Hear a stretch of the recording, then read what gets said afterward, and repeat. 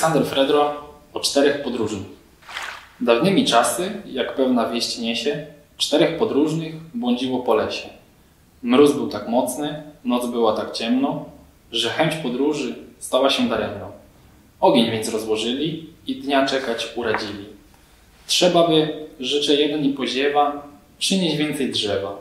Trzeba by, rzeczy drugi, legając jak długi, rozszerzyć ogniska, by wszystkich grzały z bliska.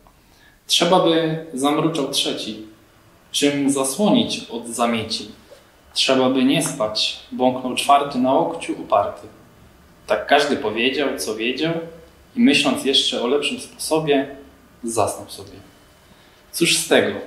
Ogień zgasł, a nieostrożni pomarli podróżni. Gdzie bez czynu sama rada, biada radcom, dziełu biada.